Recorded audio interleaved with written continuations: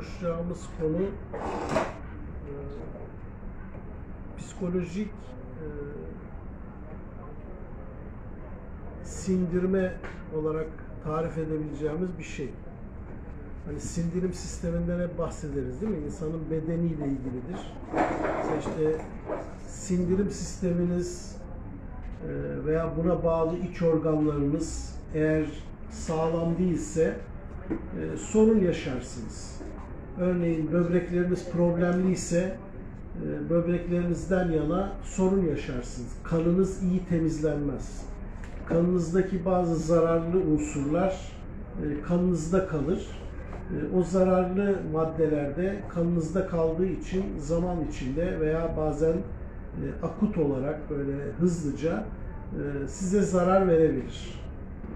Veya karaciğerinizde problem vardır. E, yediğiniz şeyler orada ayrıştırılamaz ve siz onları e, gerçek anlamda bedeninize mal edemezsiniz.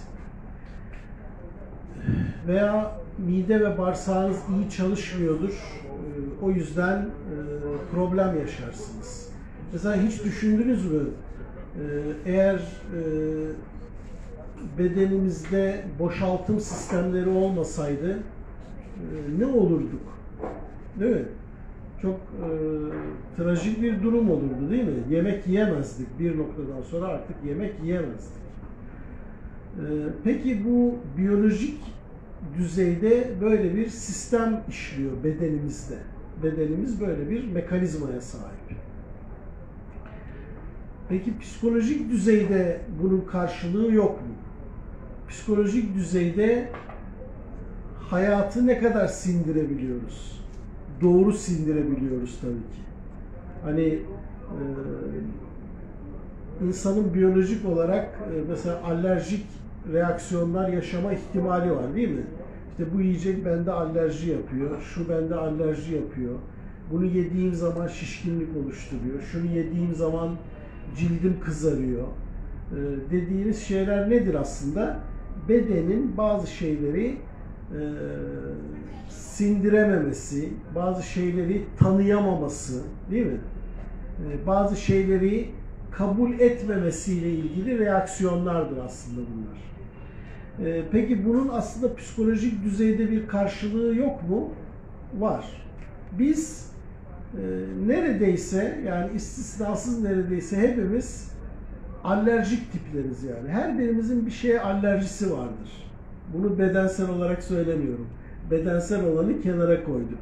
Psikolojik olarak öyle bir tarafımız var.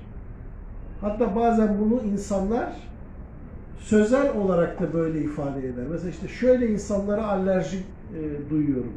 Böyle insanlardan gıcık kapıyorum. Gıcık alerjinin başka bir türüdür aslında. Veya benzer bir şeyin farklı bir açıklamasıdır. Aslında bu ne demektir? Yani ben böyle insanların olabileceğini kabul etmiyorum demektir. Böyle bir insan olamaz. Böyle davranan biri olamaz. Bunu sistemin dışına atmak lazım gibi aslında psikolojik olarak bir tahammülsüzlük, bir reddediş, bir dışlama, bir kabullenememe, bir alerji duyma halinde oluruz. Ve eğer bunu uzun süre devam ettirirseniz psikolojiniz bozulur. Yani şöyle düşünün, alerjik e, tepki verdiğiniz bir gıdayı sürekli zaman süreç içinde ama e, periyodik veya değil sürekli alırsanız ne olur? Vücudunuz alerjiden kurtulamaz. Ne yaparsınız? Yemiyorum dersiniz. Mesela karabibere alerjim var yemiyorum. Veya domatese alerjim var yemiyorum. Peki alerji duyduğunuz insanlara ve olaylara karşı bunu yapabilir misiniz? Bunu yapamazsınız. Her zaman veya mutlaka yapamazsınız. İşte atıyorum ya böyle etilerde şurada buradaki insanlar daha kibarlar, daha nazikler. Ben işte falan semte gitmek istemiyorum diyebilirsiniz. Bunu bir yere kadar bazı şeylerden kendinizi güya korumak için sağlarsınız. Kendi kendinize bir kısım çözümler bulmaya çalıştığınızı düşünürsünüz ama asla psikolojik düzeyde böyle bir imkana sahip değiliz. Görmek istemediğimiz insanları görmemek gibi böyle bir e, imkana yüzde yüz sahip değiliz. Hani halk arasında bir laf vardır ya, hani e, yanında bitmesini istemediğin ot yanında bitiverir. Aslında yanında bitmiyor. Sen istemiyorsun ya, o yüzden sana sanki yanında bitiyormuş gibi gözüküyor. Hani hep bu hani hangi insanlardan rahatsız oluyorsam o tipler karşıma çıkıyor dersiniz. Aslında öyle bir şey yoktur. Doğal olarak hayat yaşanmaktadır ve siz de öyle insanlarla bir şekilde karşılaşıyorsunuz. Aslında bunda böyle bunu hani felsefileştirmenin anlamı yok. Veya işte bazen modern psikolojide bazen şöyle ifadeler kullanılır. İşte senin o insana ihtiyacın varmış. O yüzden o insan senin karşına çıkıyor. Bir de böyle hani ne ihtiyacım olabilir ki böyle cins insanlara falan diye reaksiyon veresiniz gelir değil mi? Aslında ben bu tür psikolojik veya felsefi yaklaşımları aslında çok onaylamayan biriyim. Onu söyleyeyim. Ee, evet Allah'ın hikmetiyle bir şeyler olur ama bizim dikkat edeceğimiz şey bu değil. Bizim dikkat edeceğimiz şey ben neredeyim? Yani ben nasıl bir psikolojik bilinç halindeyim? Önemli olan budur. Hangi bilinç düzeyindeyim? Hangi bilinç halindeyim? Ve karşılaştığım şeyleri hazmedebilecek bir yapıda mıyım? Yoksa sürekli direnç koyan bir yapıda mıyım?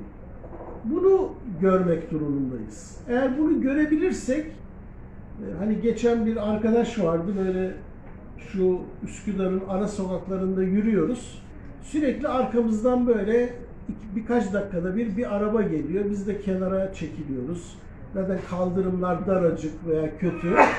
Arkadaş dedi ki keşke dedi bu arabalar olmasa. Ben de dur dedim bir sakin ol önce. Bak burada bir reaksiyon gösteren bir şey var. Bir benlik var burada. Yani yani ne güzel burada yürüyoruz, muhabbet ediyoruz. İkide bir arkadan bir araba geliyor. Geldi mi, geliyor mu? İşte bizi görüyor mu, çarpacak mı? Kenara geçelim.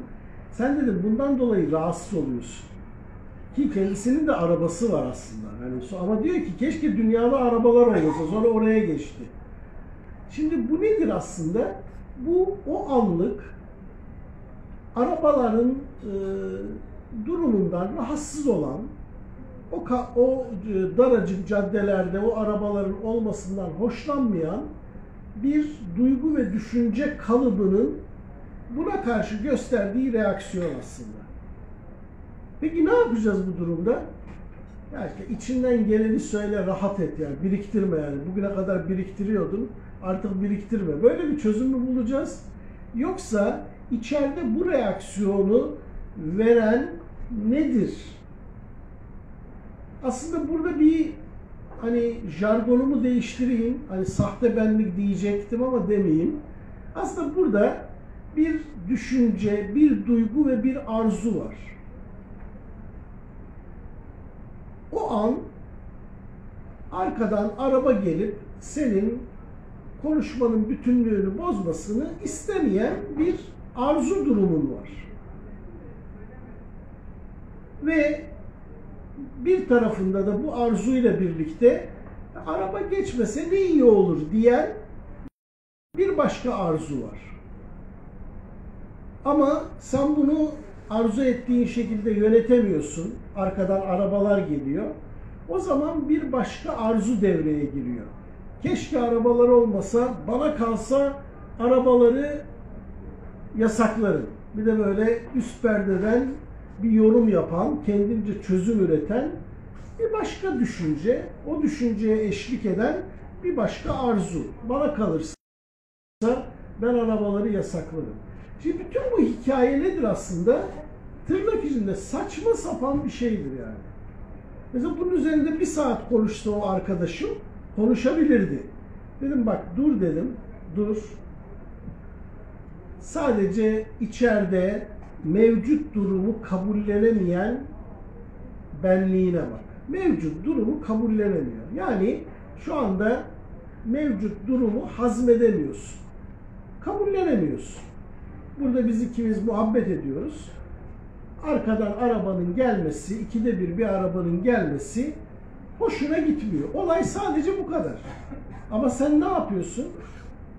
Koca koca felsefeler üretiyorsun. Bana kalsa arabaları yasaklarım falan diyorsun. Arkadan da zihni devam ediyor. Diyor ki aslında bir taraftan da düşünüyorum benim de arabam var diyor. Bak dedim ne kadar birbiriyle çelişik arzular, düşünceler geliyor ve sen hepsini kendin zannediyorsun. Halbuki bunlar zihninde, psikolojik dünyanda ortaya çıkan düşünce ve duygular. Ha bunlar niçin ortaya çıkıyor? Biraz daha temele inersen şunu göreceksin. Mevcut durumu kabullenemiyorsun. Mevcut durumu kabullenmekten kastımız her zaman buraya işaret ediyorum ki yanlış anlaşılmasın. Mevcut durum iyidir, çok doğrudur anlamında değil. Mevcut durum mevcut durumdur. Sen diyelim ki Üsküdar Belediye Başkanı olursan trafiğe bir şekil verebilirsin. Makul bir şekil verebilirsen. Ama şu an böyle bir durumun var mı? Yok. O zaman şu an bu durumu kabul et. Şu an trafik böyle, yollar böyle. Şu yol şu kadar dar. Ya işte bunu düşünmemişler mi? Zaten Türkler de şehir planlamasından anlamıyor. Git Avrupa'ya neler var falan. Şimdi bunlar hepsi saçma sapan şeyler. Saçma sapan şeyler. Hiçbir anlamı yok. Tırnak içinde. Bütün problem nedir burada? Bütün problem şudur. Mevcut durumu kabullenmiyorsun. Mevcut durumu psikolojik olarak hazmedemiyorsun. Bütün hikaye burada bitiyor. Ve sen bunu görebildiğin an esnemeye başlarsın. Çünkü şu an ben bu durumu değiştiremem. Bu durumu değiştiremeyeceğimi görüyorum ve insani, bilinçli, doğal, fıtri hayatıma devam ediyorum. Böyle yaşayabilirsin ama böyle yaşamıyorsun. Sürekli olarak tırnak içinde değiştiremediğin şeylerle didişiyorsun. Mesela şöyle düşünün. Midenizin öğütemediği bir şeyi her gün yiyorsunuz. Nasıl olursunuz? Bir düşünün. Veya böbrekleriniz hasta ve böbrekleriniz kanı temizleyemiyor. Diyaliz gibi bir şansınız da yok. Ne olur? Gitgide kanınız tırnak içinde söylüyorum zehirlenir. Peki bizim şu an psikolojik olarak yaşadığımız şey nedir? Buna benzer bir şeydir. Hepimizin böbreğinde problem var. Tırnak içinde söylüyorum. Psikolojik böbreklerimizde problem var. Ve bazı şeyleri hem hazmedemiyoruz, psikolojik düzeyde böbreklerimiz bozuk olduğu için de temizlememiz gereken bazı şeyleri temizlemiyoruz. Mesela içimizde birçok gereksiz ve negatif duygu var. Birçok zararlı duygu var. Mesela bazen oluyor böyle kimseyi sevmiyorum, herkesten nefret ediyorum, kimseyi görmek istemiyorum diyen bir duygunuz olur. Şimdi bu nedir? Duygusal bir zehirdir. Peki bunu psikolojik böbreğin temizledi mi? Hayır. Peki ne olacak bu durumda? Gitgide zehirleneceksin. Ve de gitgide öyle zehirleneceksin ki öfke bombasına döneceksin. Veya büyük bir kırılmışlık içinde, mutsuzluk içinde canım hiçbir şey yapmak istemiyor. Hiçbir insan görmek istemiyorum. Telefonum çalıyor cevap vermek istemiyorum falan noktasına gideceksin. Neden?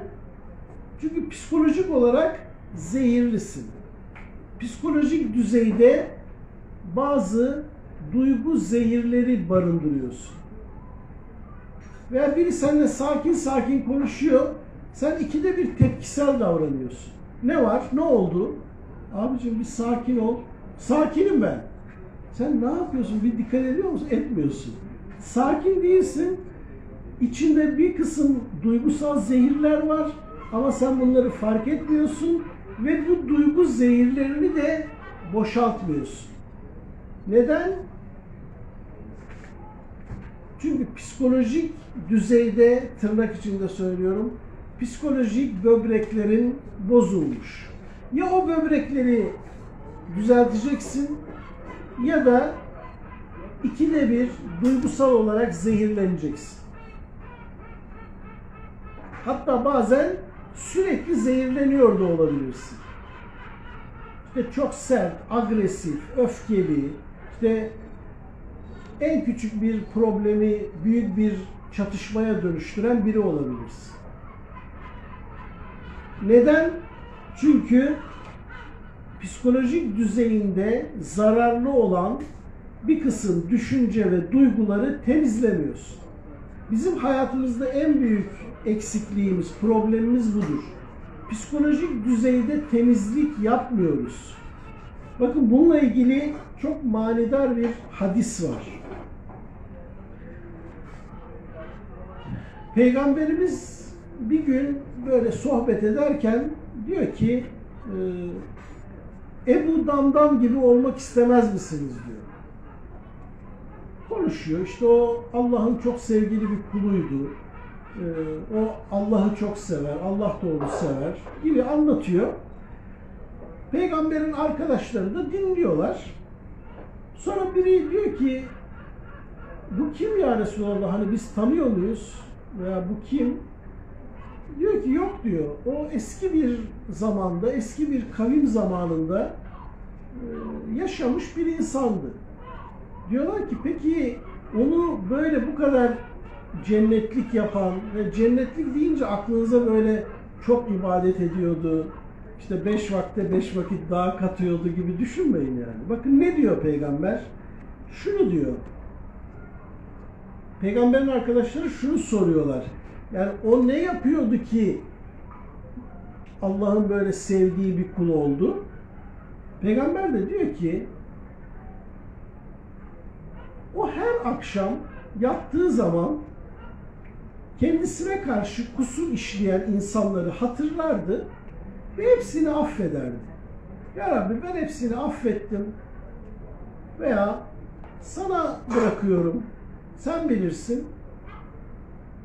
Sen beni de affet, benim de kusurlarım olabilir der ve yatardı. O bundan dolayı Allah'ın sevgili bir kulu oldu. Ben bunu okuduğumda böyle tebessüm etmiştim. Ya dedim ne kadar güzel bir şey. Yani aslında ne yapıyor e, o insan? Tabi bu nedir? Peygamberlerden, kamil insanlardan aldığı bir öğreti bu. Bugün içindeki zehiri yarına taşımıyor. Bakın ertesi güne bile taşımıyor. Ve temizliyor. O günü temizliyor. Ben akşam yattığım zaman içimde herhangi bir insana karşı bir kin, öfke, kızgınlık, kırılmışlık bunu taşımıyorum. Ertesi güne güncellemiyorum. Ama içimde bir şey diyor ki bunları biriktireceksin, hiç unutmayacaksın falan diyen bir şey olabilir değil mi? O zaman ne yapar? Bu benlik bunları tutar. Neden? Mesela alacaklı olduğunu düşünürsün. Belki de falan bana böyle dedi. Bunu asla unutmayacağım. İyi yapıyorsun. Çok iyi yapıyorsun. Kendini zehirliyorsun ve o zehri ömür boyu taşıyacağım diyorsun. Şimdi böyle bir şey olabilir mi? Bak bedenin bile diyelim ki yediği bir şey eğer mideye veya vücudun herhangi bir e, sistemine aykırı olursa onu çıkarıyor. Ya kusuyorsun ya böbreklerin hızlı onu atmaya çalışıyor. Yani şunu mu diyor? Asla unutmayacağım. Asla seni bırakmayacağım. Beni sen zehirledin veya işte midemi sen bozdun. Seni tutukluyorum. Nerede tutukluyorsun? Midemde. Midende insan bir yiyeceği tutuklu kılar mı? Kılmaz değil mi? Bu geri zekalılık anlamına gelir. Peki psikolojik olarak bunu yapıyor musun? Kendimi bildim bileli yapıyorum diyeceğiz değil mi her birimiz? Düşünün çocukluğunuzdan beri getirdiğiniz hikayeler ne kadar çok değil mi? Bakın bunları hafıza olarak hafızada olması ayrı bir konu.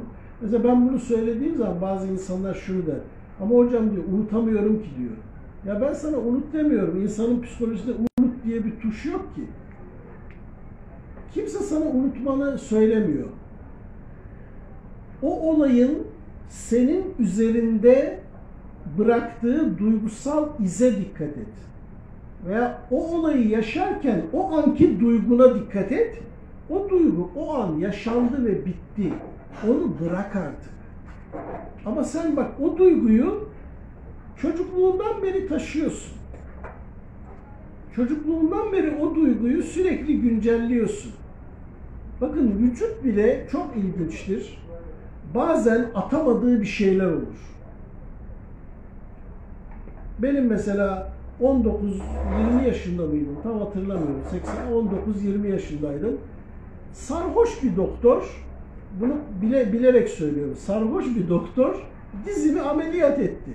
Ama bakın o sarhoş doktoru söylerken içinde bir kızgınlık yok. İçinde bir hoşnutsuzluk yok.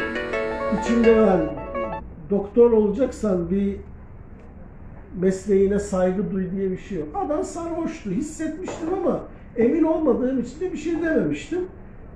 Bir leblebi büyüklüğünde hem ameliyat kötü geçti hem de leblebi büyüklüğünde bir kemik unuttum dizimde.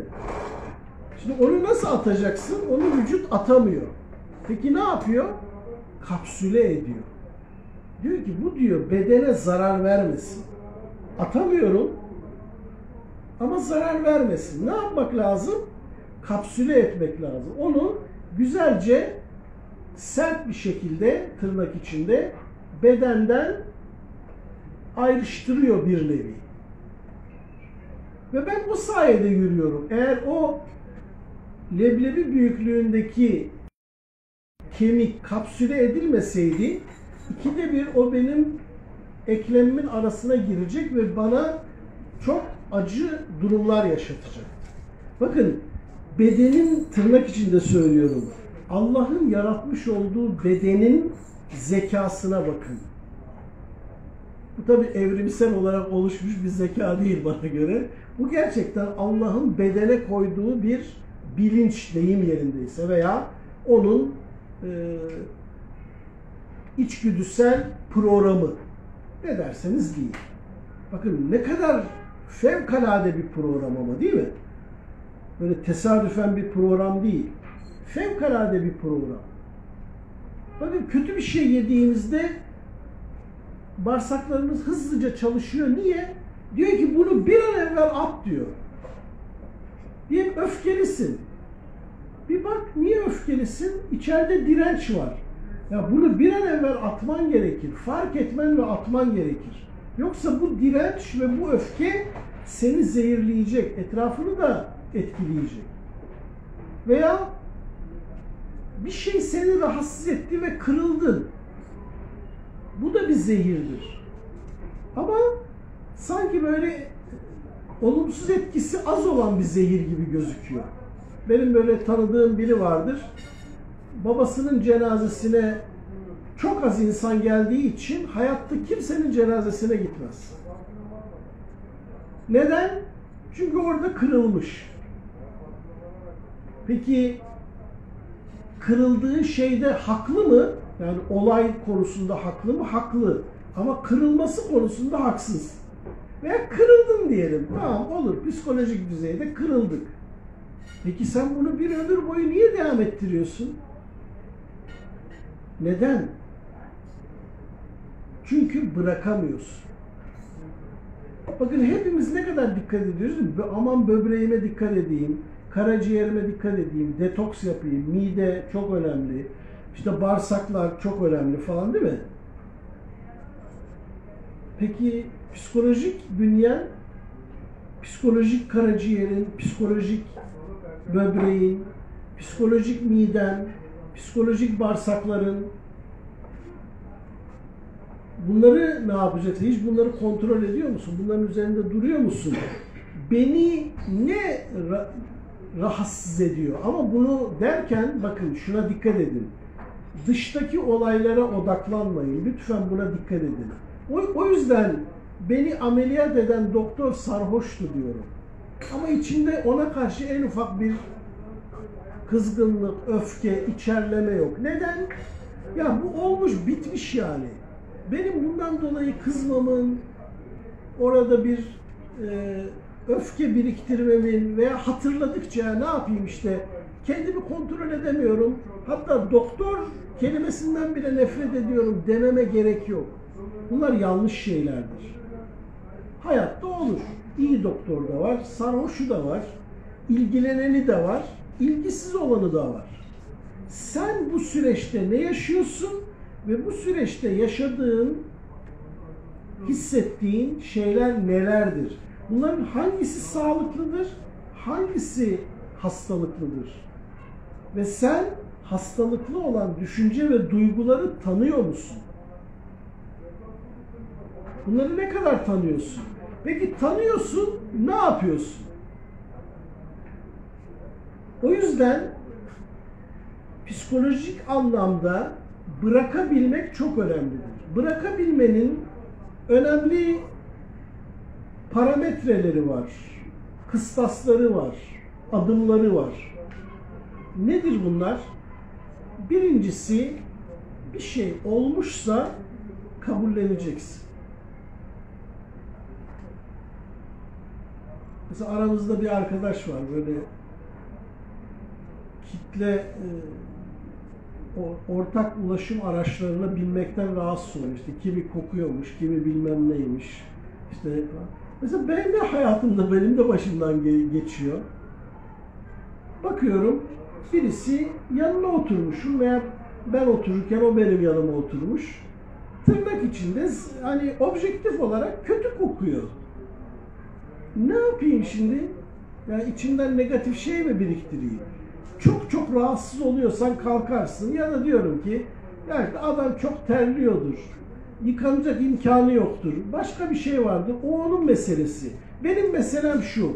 Ben buna direnç mi koyacağım? Yoksa durumu kabullenip o yolculuğu efendi efendi yürüteceğim mi? Bütün mesele budur. Yapabilir miyim? Yapabilirim. Ama sürekli dirençle de o yolculuğu yapabilirim. O yolculuk bir yarım saat sürüyorsa yarım saat boyunca ya işte insanlar böyle medeniyet kalmamış gibi de İstanbul'da yaşıyoruz. Aa, yarım saat boyunca ne edebiyatlar? Nedir bu? İşte bu gereksiz yere kabullenmemektir. Kabullenmediğin bir şeye direnç koyarsın. Kabullenmeyi de tekrar ediyorum bir şeyin onaylanması olarak algılamayın. Türkçemizde başka kelime bulamıyorum. Kabullenmek diyorum ama kabullenmek onaylamak demek değil. Kabullenmek onu doğru görmek değildir. Kabullenmek bir şeyin olduğunu tasdik etmek. Ya yani bu oldu. Bu böyle. Şu an böyle bir durum var. Mesela şu an masada çay var. Diyelim ki ben elimi kaldırdım, çay döküldü. Çay döküldü yani şimdi. Allah kahretsin diye başlamayacaksın. Ve Allah kahretsin diye başlayan içerideki hikayeyi baştan göreceksin. Allah derken kahretsine devam etmeyeceksin. Allah kahretsin dediğin anda hatırlıyorsan kendini estağfurullah diyeceksin. Olan oldu diyeceksin. Devam edeceksin. Yoksa işte Allah kahretsin zaten ben sakarın tekiyim. İşte millet de şimdi kim bilir ne düşünüyordur. Bir sürü hikaye döner. Ve sen zehirlenirsin. Ve bu zehri de boşaltmazsın. O zaman şunu unutmayalım. Birinci prensip kabullenmektir. Bakın bunun en en mükemmel örneği nedir? Hudeybiye'dir. Hudeybiye'de bütün peygamberin bütün arkadaşları belki birkaçı hariç hepsi ne diyelim buna hani o durumun travmasını yaşamışlardır. Daha modern bir tabir değil mi? Psikolojik tabir. Hepsi travmatize olmuştur. Hani 450 kilometrelik yaklaşık bir yol Mekke, Medine'den Mekke'ye yolculuk yapıyorlar ve maksatları ne? Maksatları dini bir ziyaret. Ellerinde ne silahları var, ne şu var, ne bu var, ne savaş durumu. Asla öyle bir şey yok. Tamamen dini e, motivasyonlarla bir ziyaret yapmak istiyorlar. Bakın dikkat edin Mekkeliler bunu biliyorlar. Ve Mekke geleneğinde Mekke'nin e, sosyolojik ve dini kendilerine göre dini çerçevelerinde şu vardır. Bir kişi Mekke'yi, Kabe'yi ziyarete geliyorsa o Tanrı'nın misafiridir. Öyle kabul edilir ve kimse ona engel olmaz, kimse ona zarar vermez. Zaten Peygamberimiz ve arkadaşları da bunun üzerine zaten şey yapıyorlar. O yolculuğu yapıyorlar.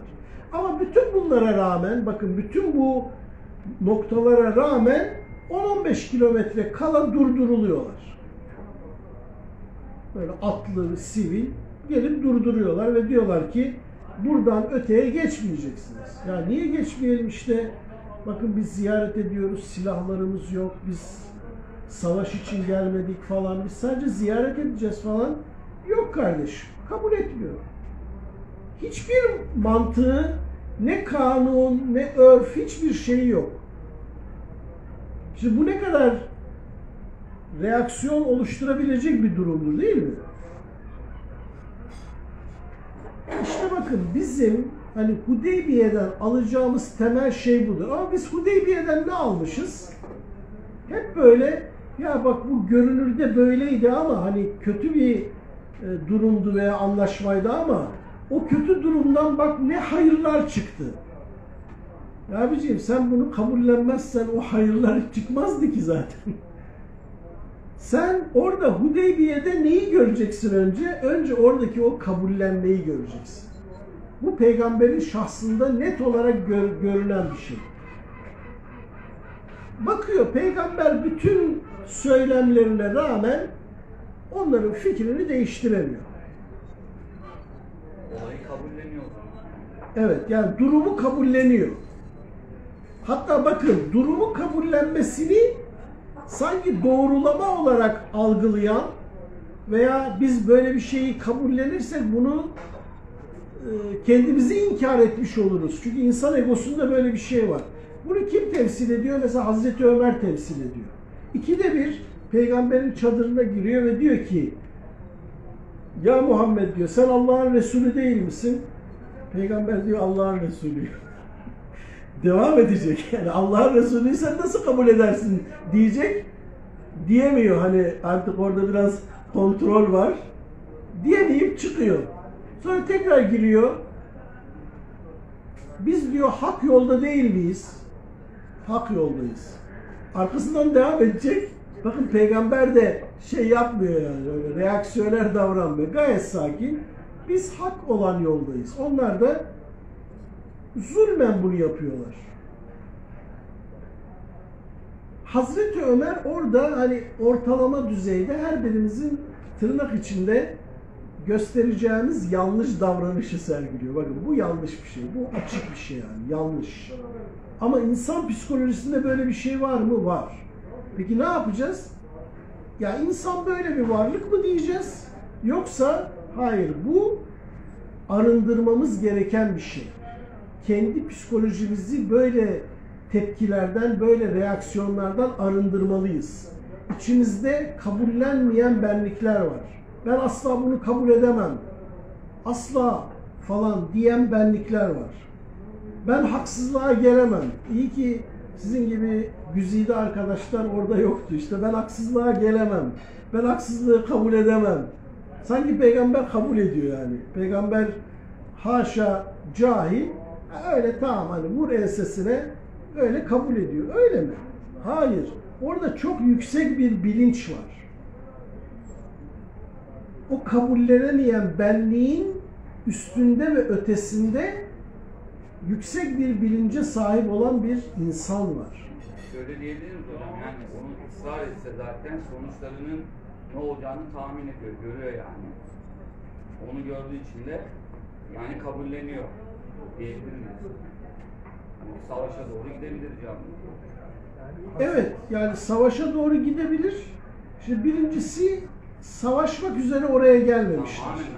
Gelmedikleri için Ha orada bilmiyorum ama bana sorsan hani peygamber ve arkadaşları savaşabilecek imkana sahip olsalardı da e, o zaman savaşmazlardı gibime geliyor. Yani çünkü o e, gereksiz yere ve e, boş bir inat yüzünden bir savaş olmuş olacaktı.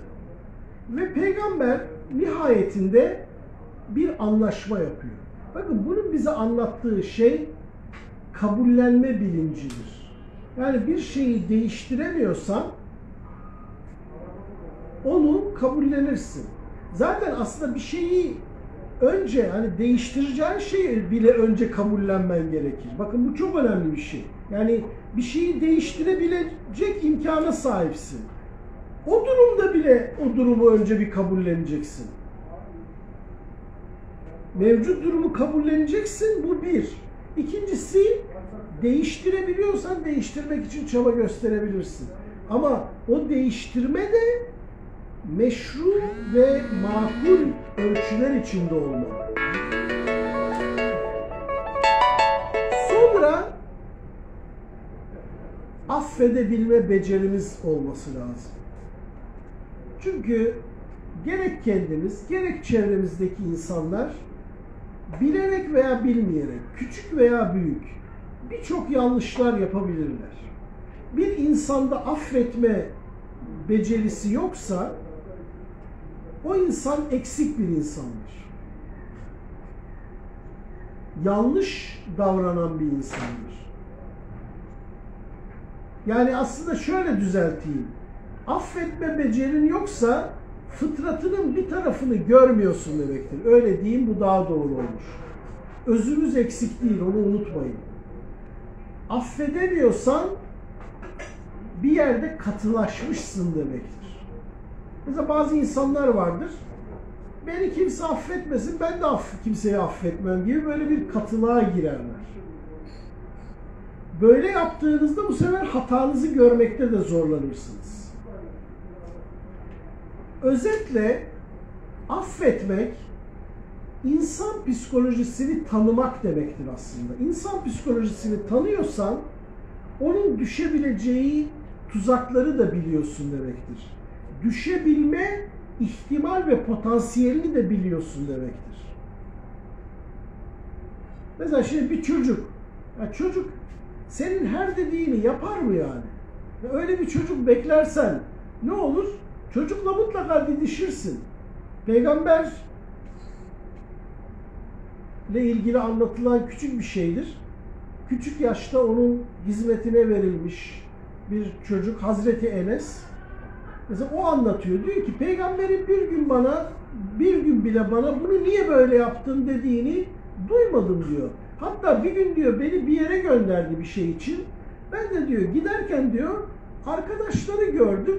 Onlarla oyuna daldım ne kadar geçmiş bilmiyorum. Sonra bir baktım arkamda Hazreti Muhammed, Hazreti Muhammed. Böyle bana baktı, tebessüm etti. Gidiyor musun Enes dedi. Ben de gidiyorum efendim diye gittim diyor mesela. E şimdi orada sen burada mı hala duruyorsun? Ben sana şöyle demedim mi diye demiyor ya. Neden? Çünkü çocuk bu. Olabilir ya. Yani bu çocuğun sürecinde yaşanabilecek bir şey. Yok asla unutmayacaksın. Asla. Ben ne diyorsam harfiyen yapacaksın. En ufak bir şeyin olursa sana gösteririm. Abi o zaman sen insan psikolojisini, çocuk psikolojisini tanımıyorsun demektir. Ve hayatın tırnak içinde artı eksi doğasına aykırı davranıyorsun demektir. O yüzden affetmek hem insanın psikolojisini tanımakla ilişkilidir hem de katı olmamakla ilişkilidir. Ve aynı zamanda affetmek Allah'ı bilmenle de bağlantılı bir şeydir. Allah'ı ne kadar tanıyorsan o kadar affedici olursun. Bunu idrak ettiğimiz zaman muhatap olduğumuz olumsuzluklar, maruz kaldığımız haksızlıklara karşı daha hazmedici oluruz. Diyorum ya ben unutmadım, dizimi unutmuyorum. Dizim ağrıyor yani. Her yürüyüşümde biraz ağrır. Ama ben doktorla ilgili bir öfke taşımıyorum. Bir kızgınlık taşımıyorum. Bir kırılmışlık taşımıyorum. Doktorlara karşı bir ön yargı da taşımıyorum. Veya hocam doktora karşı onu taşımıyorsunuz da hukuki bir hakkınızı arayabilirdiniz. O zaman, O zaman şey mi olur? olsaydı arayabilirdim. Tabii ki arayabilirdim. Hata yapmış olmazdınız değil mi? Tabii mesela orada hakkımı hukukumu arasam yanlış yapmış olmam. Ama diyelim ki doktor hakime rüşvet verdi. O, O zaman onu da kabul ederim mesela. Misal diyorum. Anlatabildim? Yani orada hakkımızı, hukukumuzu korumamaktan bahsetmiyoruz. Anladım. Evet. Ee, bu noktayı e, anlamak aslında şudur. Hayat bir insan ne kadar hayatı hazmedebiliyorsa o derece hayatı iyi tanıyor demektir. Kendini de fıtratına o kadar yakınlaştırmış demektir.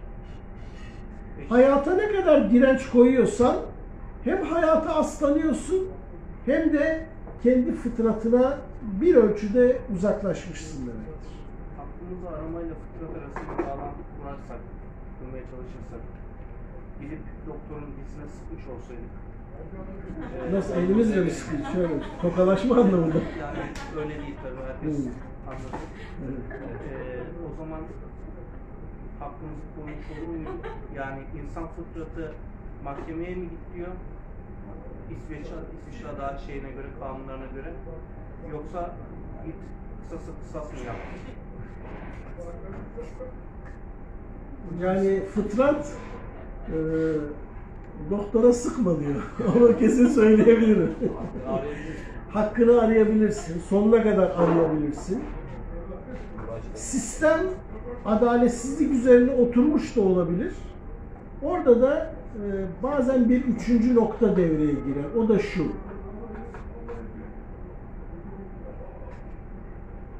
Dünya egomuzun zannettiği kadar değerli değil.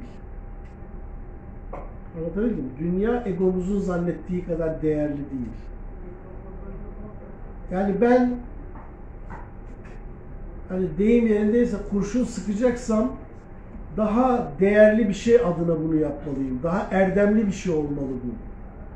Daha yüksek bir değer olmalı. Anlatabildim mi? Yoksa bir leblebi büyüklüğünde kemik unutmuş insanlık hali ne yapsın çok içmiş. Kim bilir ne derdi vardı diye de düşünebilirim. O yüzden şunu işaret edeyim soru üzerinden. Aslında biz hani fıtratımızda değiliz. Şu an fıtrat koordinatlarımızda değiliz. Sapma içindeyiz. Yani merkezimizde değiliz. Merkezimizden az veya çok sapmışız. O yüzden reaksiyonlarımızı biraz gözlemlemeye ihtiyacımız var. Yani içinden çıkan her şey fıtrat değil yani. Bu da fıtratla ilgili yaptığımız temel bir hata. Öfkeleniyorum, işte benim fıtratım bu. Güceniyorum, fıtratım bu. Bir şey için aşırı üzülüyorum, fıtratım bu. Geçen bir arkadaş dedi ki böyle 8-10 gün bir kediye bakmış böyle hasta bir kedi sokakta bulmuş. Ya diyor kediden ayrılınca o kadar üzüldüm ki bundan sonra yemin ettim hiçbir kediyi sahiplenmeyeceğim. Ya kedilere yazık ediyorsun. Belki bir kedi senin merhametli kollarına muhtaç. Tırnak içinde söylüyorum. Bakın burada ne tür bir hatamız var? Ya bir şeyden ayrılabilmeyi fıtri şekilde yaşamayınca fıtri hale dönmek veya fıtri hale gitmek için çaba göstermek yerine mevcut durumumuzu durumumuzu e, kabul edip hatta onu fıtratın böyle diye kabul edip onun üzerinden hareket etmeyi tercih ediyoruz. Allah insan niye fıtratına çağırıyor?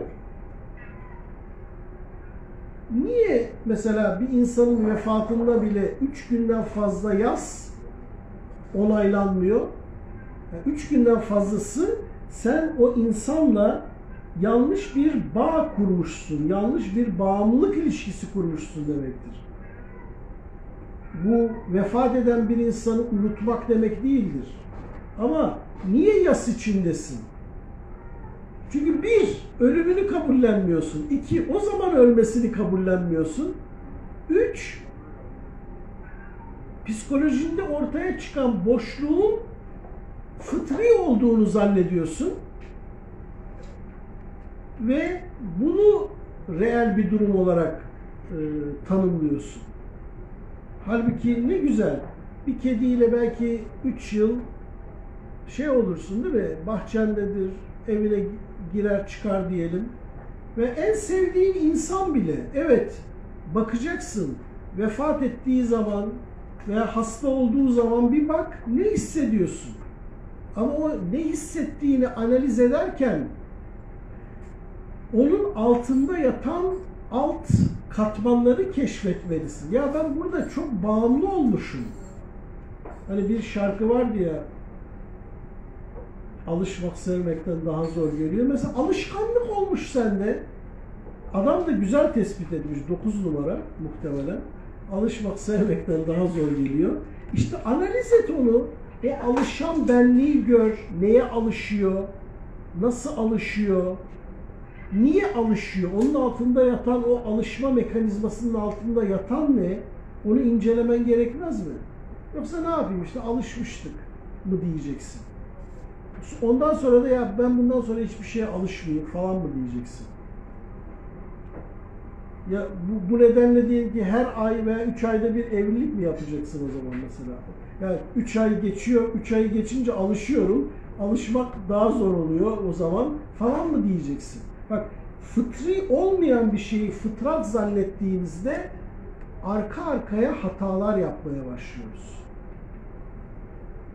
O yüzden tekrar başa dönüyorum. Kabullenmek, affetmek ve bir şeyi olduğundan büyük görmemek. Bu dünyada yaşadığın hiçbir hadise büyük değildir. O yüzden hayatınızda yaşadığınız hiçbir hadiseyi ya bu çok büyük bir sorun, çok büyük bir problem, çok acı verici, çok çok hayır. Asla çok ve büyük kelimelerini kullanmayın. Dünyanın topu küçüktür. Bu gözle bakın. Değerleriniz ve erdemlerinizle hareket edin. Büyük olan şey bunlardır. Büyük olan şey benim insaniyetimdir. Büyük olan şey benim fıtratımdır.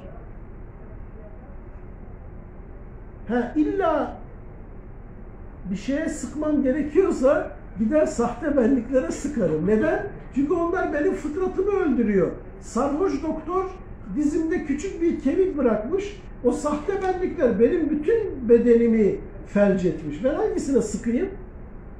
Değil mi? E hocam şarkı dediniz de bir şarkıda da şey diyor. Tanrım sen affetsen ben affetmem. Şey Tabii. ya. O da başka bir cehalet. Çünkü hani affetme diyor ama sen affetsen de ben affetmem diyerek Çok büyük bir meydan okuma değil mi hocam? Aynen işte o nedir? Ego bir şeye tutunmuş. Sanki o intikamı alırsa ihya olacak. Halbuki intikam alsan ne olacak yani? Neyi abartıyorsun? Arkadaşın dediği gibi. O da bir intikam duygusu. yani. Evet. Dolayısıyla dünyayı gözümüzde abartmamak lazım. Bir olayı gözünde büyütüyorsan dünya büyük, sen kendini küçük zannediyorsun demektir. Bakın burada da hep şey örneğini veriyorum. Habil Kabil kıssasını bu anlamda asla unutmayın. O ne demektir? O bir pısırıklık demek değildir. O şu demektir. Bir temel ilahi ölçü koyuyor o kıssa bize. Yani diyor ki bak diyor biri seni öldürecek olsa bile sen bundan dolayı tetiklenme. Ya işte biz bırakın biri öldürecek ya biri senin hakkında ne dedi biliyor musun falan desem o içeride neler çıkar ne dedi ne dedi ya bırak boş ver falan filan ya söyle lütfen söyle değil mi? Neden? Ne, neyin davasındasın ya belki işte arkadaşının biri öfkeliyken bir laf söylemiş yani. Ne, niye bunu abartıyorsun? Ha öyle dedi değil mi? Tamam ben bunu yazdım bir kenara. Ya bırak bunu. Bak diyor ki ayet, biri seni öldürmeye azmetse bile Sen bundan dolayı tetiklenmeme özgürlüğüne sahipsin. Bakın bu özgürlüğü din bize hatırlatıyor. Bu nefsi müdafaa yapmayı engelliyor anlamında değil. Yani önce şunu bir farz et ki biri seni öldürmeye geliyor ve senin yapacak hiçbir şeyin yok. Sakin kalabiliyor musun? Adam mesela gelmiş kafana sıkacak. Mesela sakin kalabiliyor musun? Kafama sıkarsa sakin kalırım da elde bıçak varsa bir kısarım yani. Öyle acıtır o çünkü. Eyvallah. Ben söylerim arkadaşa. Yani burada bize anlatılan şey şudur. İnsanın şu dünyada hani tırnak içinde en çok kıymet verdiği bu dünyadaki zahiri olarak biyolojik canlılığıdır değil mi? Hani canı koruma, biyolojik canlılığı koruma. Ayet bize diyor ki bak böyle bir durumda bile sen tetiklenmeme özgürlüğüne sahipsin. Bunu bize hatırlatıyor. İki, bu dünyada ne kadar yaşayacağının hakikatte bir önemi yok.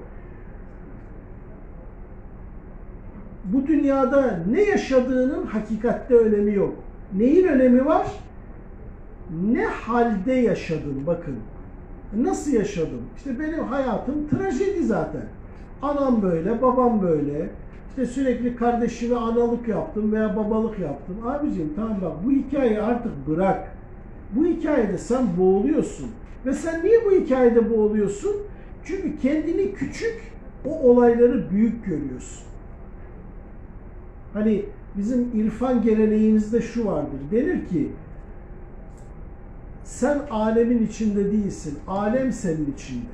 Yani hakikatte hani bizde bazen denir ya ya işte insan kendini çok abartıyor. İnsan böyle binlerce galaksinin içinde, bir tanesinin içinde, bir sistemin içinde, bir küçücük dünyanın içinde küçücük bir varlık. Sen neyi anlattın bana şimdi? Sen bana insanın taştan, topraktan, 114 elementten oluşan maddi, biyoorganik bir varlık olduğunu anlatmış oldun. Sen saçmaladın yani. Yerden göğe kadar saçmaladın. Eğer insan sadece maddi bir varlık olsaydı, evet yani insan çok küçük bir varlıktır bu maddi alemde. Ama insan maddeden ibaret değil ki. Madde ile sınırlı bir varlık değil ki. İnsanın o manevi, ruhani tarafı bütün kainatı içine alır. Hatta yanlış hatırlamıyorsam toparlayabilir miyim bilmiyorum. Yani Muhammed İkbal'in bir sözüdür. Alemin içine sığana, insanın içine sığana alem, alemin içine sığmayana insan denir diyor. Bu mealde bir şey. İnşallah yanlış söylememişimdir. Ama mana itibariyle öyle. Yani sen alemin içine sığıyorsan anla ki insanlığını fark etmemişsin henüz. Sen bırak alemin içine sığmayı. Ya bir küçücük evim olsa da sığsam diyorsun. Biri beni sevse de mutlu olsam diyorsun. İşte şunu başarsam da kendimi ispat etsem diyorsun. Şu diplomayı alsam da kendimi ortaya koysam diyorsun. Sen nereye sığıyorsun? Kendini neye sığdırıyorsun? Küçücük bir şeye sığdırıyorsun. Niye sığdırıyorsun? Çünkü sen insanlığının farkında değilsin. Eğer insan olmaklığının farkına varsaydın aleme bile sığmazdın. O yüzden insan Allah için yaratılmıştır. Allah ile mutmain olmak üzere yaratılmıştır. Allah ile mutmain olmak kodlarıyla yaratılmıştır. O yüzden huzursuzuz ya da kendimizi uyuşturuyoruz. Bakın insanlar kendilerini uyuşturacak unsurlar bulamayacak olsalardı çoğu delirirdi. Kimimiz eğlenceyle, kimimiz cinsellikle, kimimiz dedikoduyla, kimimiz televizyonla, kimimiz akılsız telefonlarla kendimizi uyuşturuyoruz. Ne yapayım? Canım sıkılıyor. Şunu yapayım. Neden canı sıkılıyor? Çünkü henüz kendinin farkına varmadın. Kendini ya bedene ya psikolojik düzeye indirgiyorsun. Psikolojik düzeyde de bir sıkıntı yaşıyorsun. E, psikolojik düzeyde bir çözüm de bulamıyorsun. O zaman ne yapmak durumundasın? Ya kendini uyuşturmak durumundasın ya da bir çıkış yolu bulmak zorundasın. İşte ayet ne diyor? Kad eflehal mu'minun. Müminler kurtulmuşlardır. Yani felah çıkış yolu anlamına gelir. Kurtuluş yolu, çıkış yolu. Yani mümin bedeninin ve psikolojisinin sınırlarını görmüş, o sınırlara razı olmayan ve o sınırlardan çıkış yolu arayan ve bulan insandır. Bakın böyle mümini tarif edince daha iyi oluyor değil mi? Yoksa işte müminler dogmalara inanırlar falan filan. Böyle böyle bizi alıp böyle çöp kutusuna, çöp kutusunun kenarına koyuyorlar. Oradan da kendinizi çöpe atabilirsiniz diyorlar. Dini o düzeye indirgemeye çalışıyorlar. Din o kadar muazzam bir hakikate işaret ediyor ki bunu ne Müslüman olarak bizler ne de dini eleştiren insanlar farkında. Onlar zaten farkında değil. Farkında olsa zaten onu yapmayacak. Ama biz de farkında değiliz. Biz de kendimizi ya hakikaten din bizi çok sınırlıyor ya falan. Ya bu din olmasa biraz daha özgür yaşayabilirdim. Biraz daha özgür yaşasaydım daha mutlu olabilirdim diye böyle hikayeler kurguluyoruz. Halbuki bir bak bakalım. İçeride kim ne istiyor? Kim seni neye teşvik ediyor? Hani bazıları da Allah olmayaydı ben insanları böyle kaç kişiyi keserdim, öldürürdüm? Sıkardım. Halbuki yani öyle mi? Veya bunu diyen kim? Bir bak bakalım. Değil mi? Bunu diyen kim? Ama bakın telefonlarda ne yapıyorsunuz? Kaydırıyorsunuz.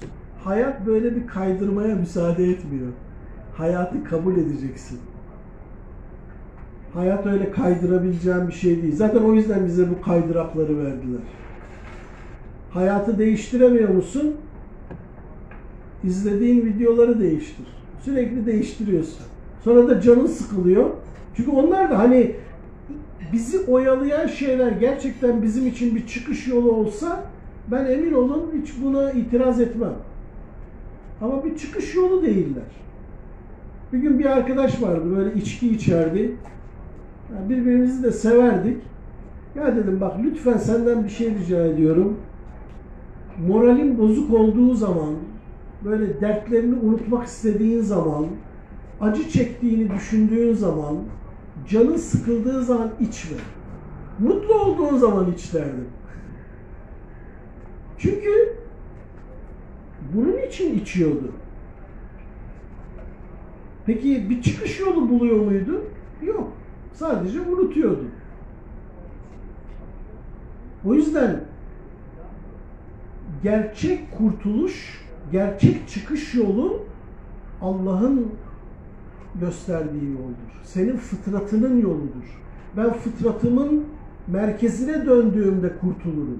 Yani kurtuluş bir ortam, bir mekan, bir durumun değişmesi değildir.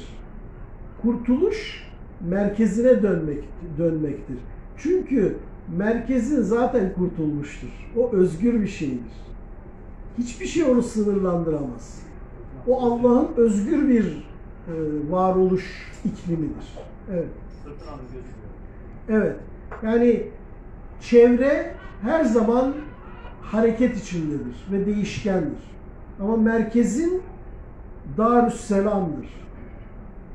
Huzur yurdudur. Bak Habil kendisini öldürecek olan kardeşi karşısında bile Darüsselam'da duruyor.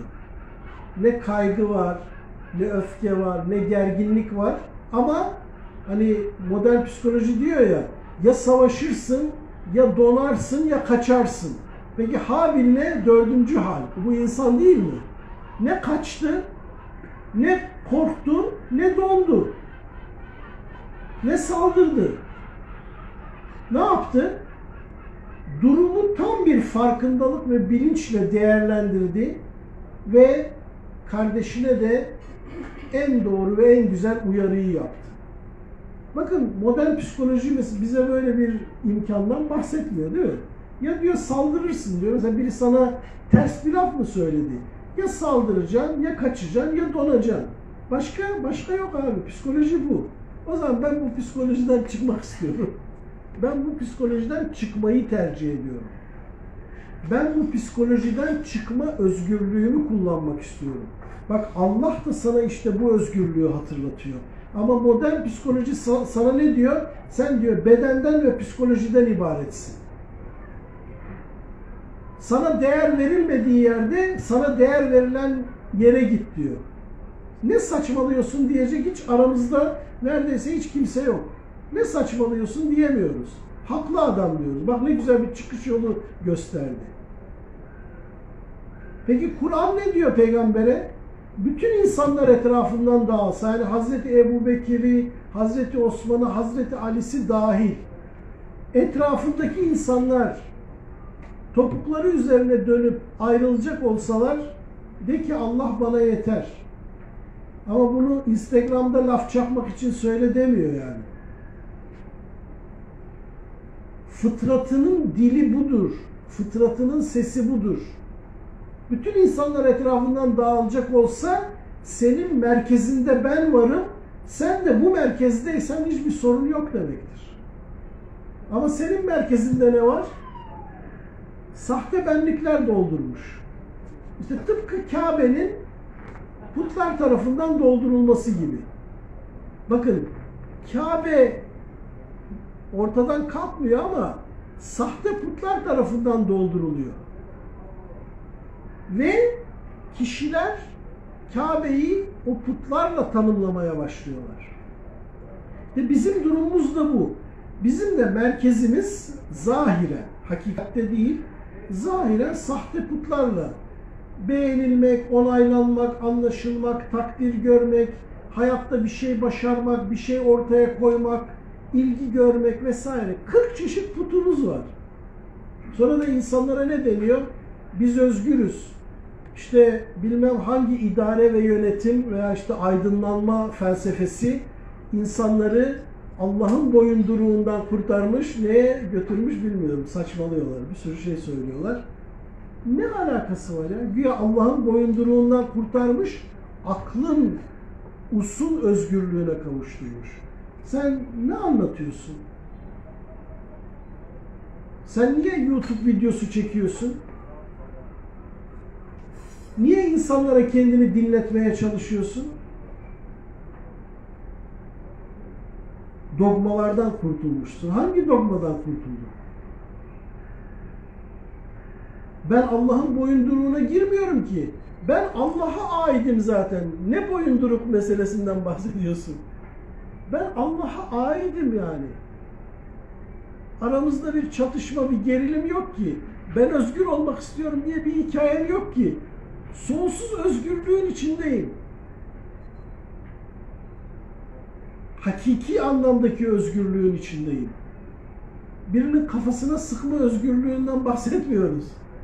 Birisi kafama sıksa bile etkilenmeyeceğimin özgürlüğünün hakikatinden bahsediyoruz. Kim daha güçlü, kim daha özgür? Evet, teşekkür ederim.